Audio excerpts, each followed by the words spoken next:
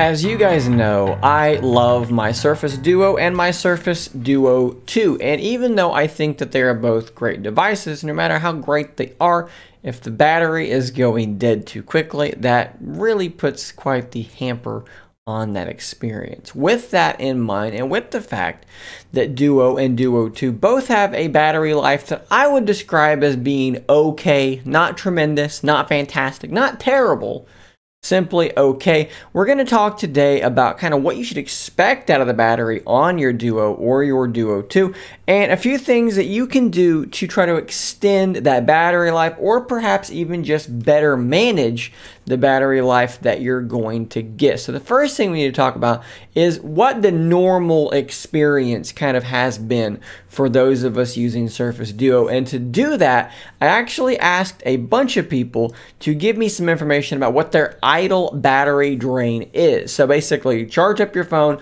set it by your bedside, and just let it sit there overnight. And then what did you lose over that night. And I got several responses both in a community post and in some other comments elsewhere.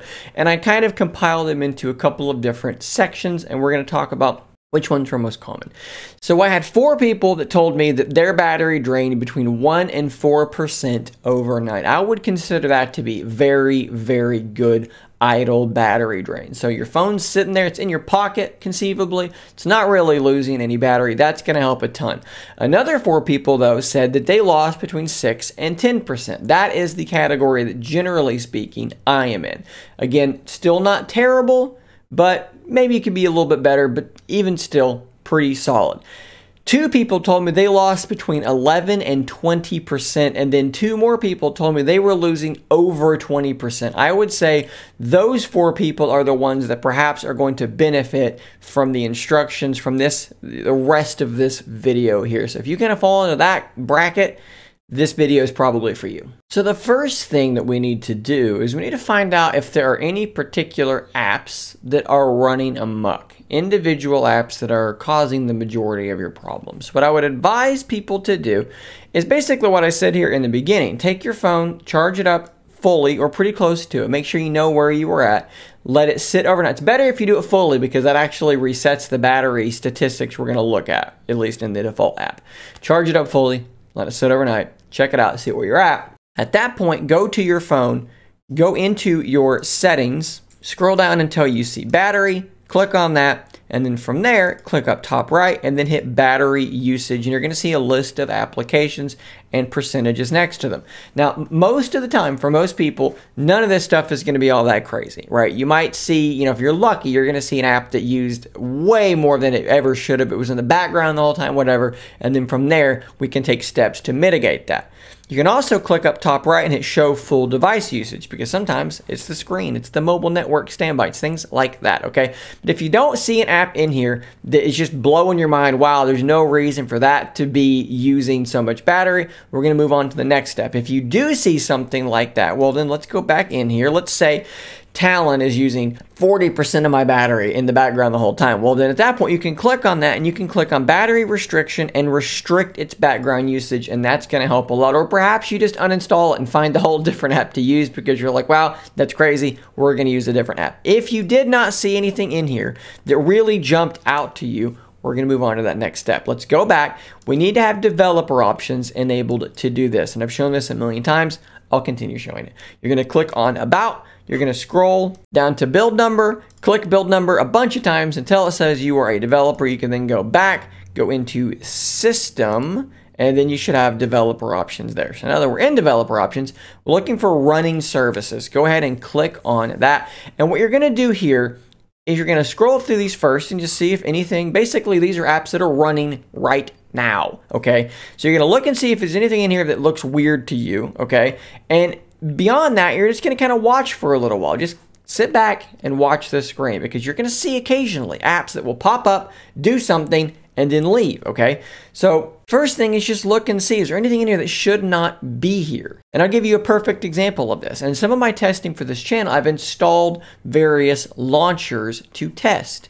Well, when I looked at this, AIO launcher that I just tested was running in the background. Even though it wasn't set as my default launcher, there it was, still running. I uninstalled it. Niagara Launcher was there running. I uninstalled it. The rest of these now make sense, all right? So link to Windows makes sense to me. I'm using that. That's my phone link app, okay?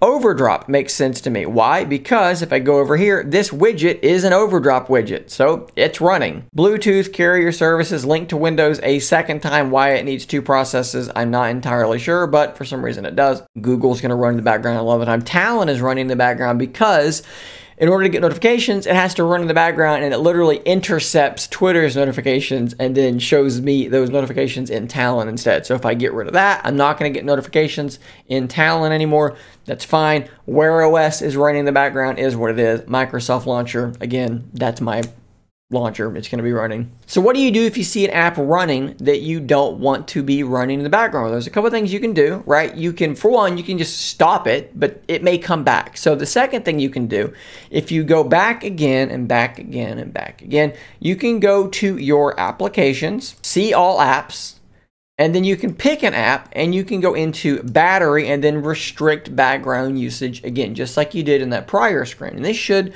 somewhat prevent it from popping up in the background and doing stuff. You can also click on battery optimization, find your app in that screen, and then optimize the battery. I've also had a lot of people tell me that they had some success saving some battery by restricting background on the Microsoft launcher itself. So find the Microsoft launcher, battery, background restriction and then turn that on, maybe save a little bit there. I've done it myself. I've seen no negative side effects. I'm not sure if it's helped any battery or not. Hard to really say, but I guess every little bit might help. But there is once again another option for wrangling in troublesome applications. Let's go back again. And we're going to go back into developer options here. I've talked about this on another video prior, but we're going to compile all this information here. You're going to scroll all the way down until you see standby apps and click on that option. While you're in here, basically what we are doing is we are changing the category that these devices are put in. It's going to affect how much battery they can kind of use. And let's look at information here from Google themselves. These are the buckets as they describe them. Active means the app is currently being used or was very recently used. This is an app that you do use relatively often. Working set means it's regularly used, frequent means often, but not every day. Rare means not frequently used, and you're probably not going to see restricted on any of them. So, what does that mean? So, an active app is an app that you're currently using. It's been launched actively. The app is running in a foreground service. It has a sync adapter associated with the content provider used by the foreground app, and you're probably getting notifications from that app. Working Set is an app that you probably use daily and it has mild restrictions on its ability to run jobs and trigger alarms. Frequent apps are apps you use regularly, but not necessarily every day, and it does have stronger restrictions on its ability to run jobs and trigger alarms. And then Rare basically has strict restrictions on the ability to run jobs and trigger alarms. So these are apps we don't want to let do anything in the background unless we're actually doing it ourselves. So if we go back here, you're just going to scroll through these and find apps that make sense to you that you want to put in that rare category. So here's a good example. I don't know what Retouch will be doing in the background. I have no idea. I use this app all the time but it's not going to do anything in the background, so we're going to change it to rare. I literally never use Robinhood. Let's put that on rare. Snapseed shouldn't be doing anything in the background. Rare. Just keep in mind as you are doing this that if you change an app to rare and you stop getting notifications from it that you wanted, you probably made a mistake. Go back in, set it back to something else. Maybe you just remember what it was before, take screenshots or something, and put it back active, frequent, whatever it might have been before. Easy enough to reverse. So the last one involving apps is really simple. Just uninstall the apps you're not using. If you installed something to try it out and you don't use it, get rid of it, uninstall it. The only thing it can be doing is something bad. If it's just sitting there, best case scenario, it's doing nothing. Okay, so just uninstall it. And similarly to that, okay, if you go into your app drawer and you're looking through and you see Microsoft Start or you see some packed in app that you don't use, disable it. Long press on that app go to app info and hit disable. Shut the thing down so that it can't possibly be doing anything. So keep your apps nice and tidy. So moving on from kind of wrangling in troublesome apps, these are some basic things you can do just in general. So Surface Duo and Duo 2, these screens are both OLED screens, which means displaying darker colors or blacks more specifically use less power. So you're going to want to enable dark mode and potentially even use a dark wallpaper. So you can see here the wallpaper I use is quite dark, but I'm not doing that for battery saving. I just think that it looks cool. But you could use a dark wallpaper to potentially save a little bit of battery life. As far as dark mode goes, I believe it is under display.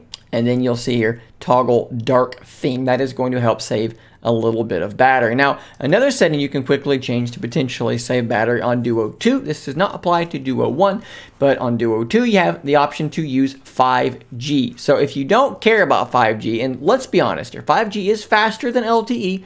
This is absolutely true. However, for most things you're doing most of the time, it doesn't really matter. So if you are of that mindset that you're like, I don't really care about this being 5G, go into network, go into mobile network, and then look for preferred network type. Click that and change it to LTE, and you will be disabling your 5G. And potentially, you're going to save a decent chunk of battery by doing that.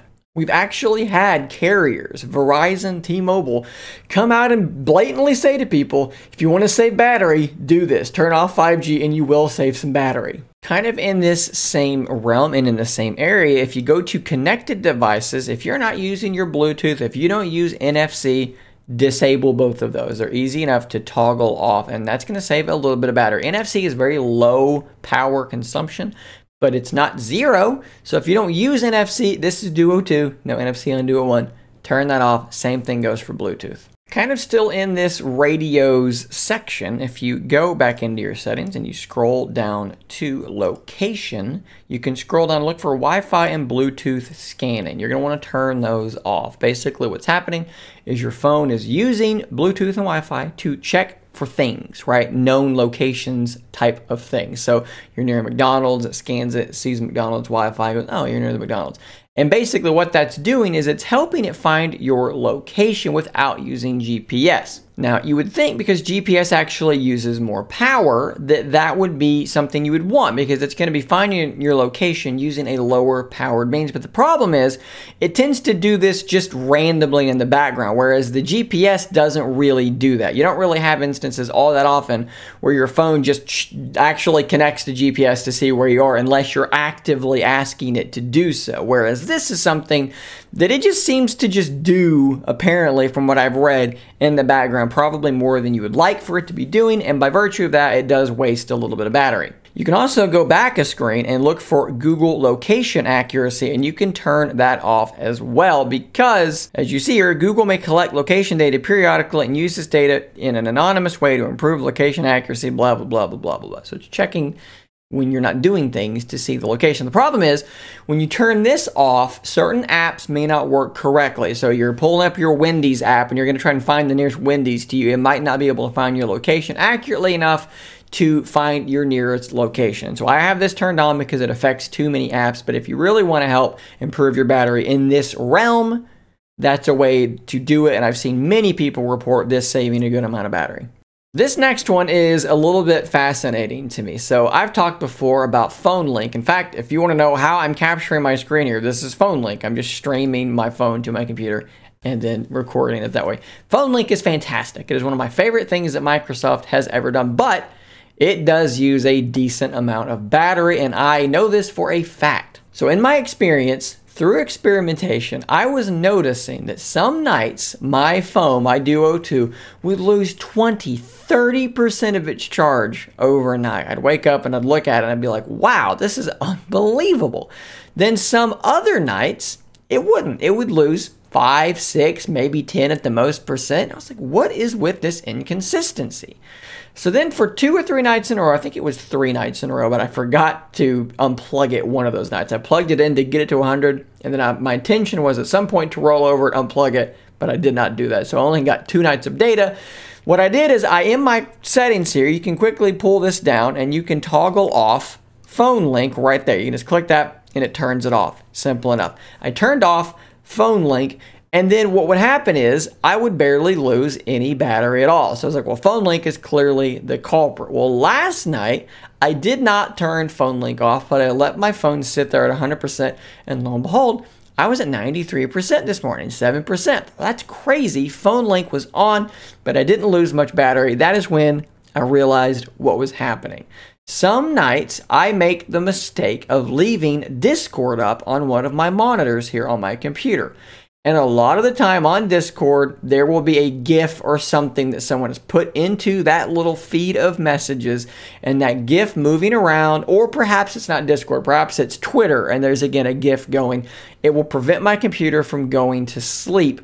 Phone link stays connected all night, and I lose a ton of battery. Last night, my phone went, my computer, I should say, went to sleep as it should have. So when I looked at my phone and you pull this down twice, you'll see where it says RG Boss. That's the dumb name for my computer.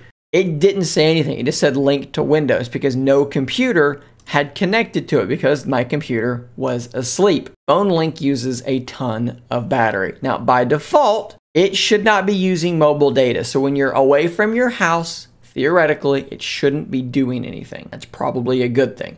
While I'm home, it's not that big of a deal, right? Because I've got chargers everywhere. I've got my Duo dock here in front of me. It's literally sitting in my Duo dock right now, so not that big of a deal when I leave. I don't want Phone Link doing anything because it's going to kill my battery. But this is an important thing to keep in mind. Think about this. Do some experimentation yourself. Disable it. See what your battery drain is then and make your decision of what to do from there. But just keep it in mind, it's using your battery. Another really simple one that people for some reason don't often think about is just using the battery saving mode. Go back into your settings, scroll down to battery, and then look for battery saver and turn that on. You can see what it says there. It's going to turn on dark theme, which we've already done because it does help. And it turns off or restricts background activity, some visual effects, and other features like you can read it. I'm not going to say it because I don't want to trigger everybody's stuff in their house, but it turns that kind of stuff off. Now, if you don't want to run battery saver, there's some other things you can do. Like that last bit, turning that feature off. Well, we can just do that ourselves. Go to your Google app, click this up here, go into settings, click on Google Assistant, look for Hey, hmm, click on that, and toggle that off. I keep that turned off because I have speakers everywhere. And what is super annoying is I'll say the thing to try and interact with one of them. My phone turns on, listens for a second, realizes I'm talking to the speaker, shuts off. It's super annoying. So I turn that off. Let's say though you don't like the assistant on your phone at all. You can disable it. Right back where we just now were. Scroll down, keep scrolling until you see we're looking for general.